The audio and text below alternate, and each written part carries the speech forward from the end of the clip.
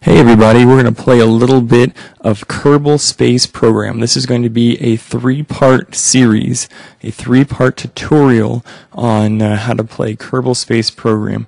Uh, in this episode, we're going to go over some of the spaceship designs, basic spaceship designs, and then after that, in the second episode, we're going to go into orbit uh, and try to give ourselves a good orbit. And finally, after that, uh, we're going to try to launch a satellite and get that thing spinning around. Uh, and so this is Kerbal Space Program. Let's get our game started.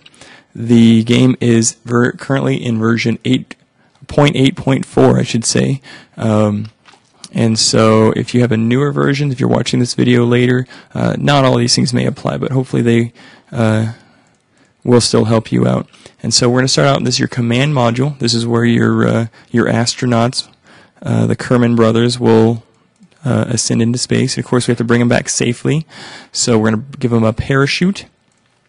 Next thing we want is we're going to take the stack decoupler. What the stack decoupler is going to do is it's going to give us uh, the ability to separate at will um, part of the rocket from another part of the rocket. So, for example, uh, in this very simple example, if we were to try to use the parachute without um, the stack decoupler, the weight would be too great, and the whole uh, rocket would crash to the ground when we tried to uh, save the brothers. So, um, first thing we want to do is we always want a stack decoupler.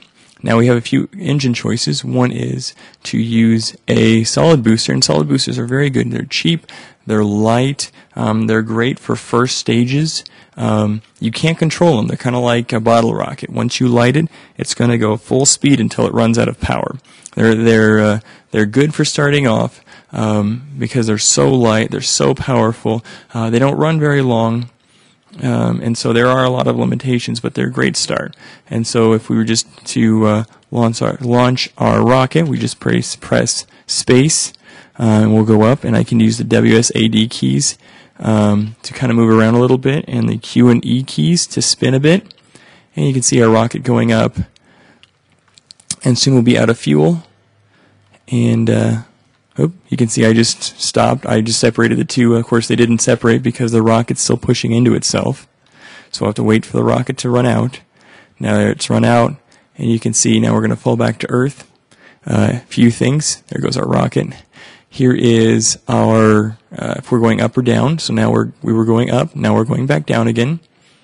And we'll probably see our rocket bit come by again.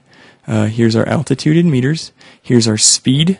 Not necessarily our speed going up or down, it's just the speed of wherever we're heading.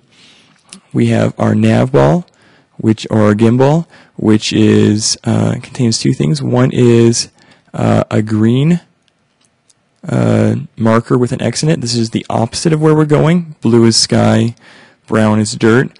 And then um, this yellow, whoop, that's hard to see, that yellow there, that is where we're going, which is we're heading straight down.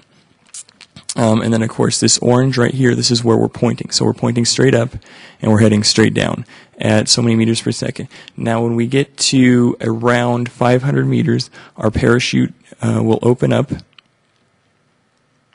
There it goes. And we'll uh, descend safely, and the, the brothers will be fine. So let's uh, make a little bigger rocket because that didn't go very high. Um, so we can use liquid fuel rockets. Now, liquid fuel rockets, they're more expensive, they're heavier, they're a little more powerful, um, but what they really give you is the two two major things. One is their the ability to stack fuel tanks. So here is twice as much fuel. You can't stack these guys. If you stack them, they'll blow up. You have to sit them all right beside each other. Uh, so we have twice as much fuel uh, by only increasing our weight slightly. They're a bit heavier, mind you, because not only do you have a fuel tank, but you also have to have the engine itself. The other thing they allow you to do is they allow you to accelerate and decelerate. So let's launch our engine, accelerate up, and so we're at maximum speed, we're accelerating, and if I move this throttle on down by pressing control, shift accelerates, control decelerates, you can see we've turned off the engine and now we're going to descend. And I'm just going to separate everything out. And so now we're going to float safely down to Earth while our engine full of fuel crashes down on our launch pad. Now, Uh, another important aspect of a rocket design is having control. I showed you that you can use the WSAD keys and the Q and E keys to control your engine, but a nice thing to have is one of these SAS modules. Let's use one of these SAS modules. Let's launch our rocket, and I'm going to press F, hold F to um, turn my SAS module on. You can see here it's turned on. And what it's going to do is just going to stabilize my ship a little bit. So if I try to move my ship over, it's going to correct it for me. The other thing I can do is if I don't want to hold F the whole time, you know, for a 10 minute flight, I can press T and it'll lock it in there and I can press T and take it off again. And what that's going to do is just help me stabilize my rocket just a little bit better. So let's continue on. Let's make a let's make a decent rocket now. So we've got our first stage. It's a very good first stage. Let's get something that gets really high up there. So we need our decoupler uh, because if we oops don't want that. If we don't have our decoupler uh, and we fire off our rocket, we'll just kind of mess things up and we can't do different stages. We need something to separate those parts. We're going to use a tricoupler. What that's going to let us do is hook three rockets under here. So our rocket's gone from one stack to a three stack. Um, we're going to add a few more SAS modules. Now, if I do this, this is going to take a while because I have to add every single uh, little item on each stack. And so what I can do is get rid of this. I can turn on the symmetry tool. I can say three items because it's a tricoupler. And it makes things quite a bit easier. And we'll get a couple of these here and this here. And now we have a pretty decent rocket. Now, this rocket's pretty good. Let's see how we do. This will work very well. Let's accelerate our throttle up, turn our SAS on, and launch hey, we're not going anywhere. It seems that our rocket is just a tiny bit too heavy. Eventually it runs low on fuel, but we're basically wasting fuel here. So we need a first stage. And of course, the best way to do a first stage generally is to use solid boosters. So we're going to use uh, these radial decouplers. They work just the same way as the uh, the normal decouplers, except that they uh, they hold a rocket on the outside rather than the top. We'll take our solid fuel boost boosters, and we've got three of those, and those won't quite be enough. So what we're going to do is we're going to stack a couple of these, and we're just going to sit them on the side of our rockets.